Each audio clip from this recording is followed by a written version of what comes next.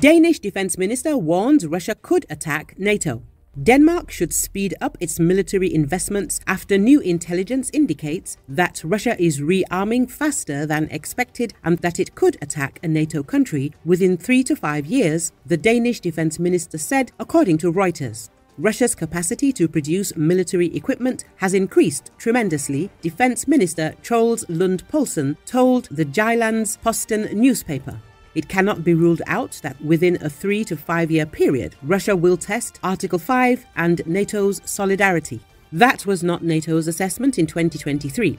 This is new knowledge that is coming to the fore now, he said. The changed threat assessment comes after other European NATO countries have made similar warnings in recent weeks. Germany's defense minister Boris Pistorius said in January the alliance should prepare for a Russian attack on a NATO country within five to eight years.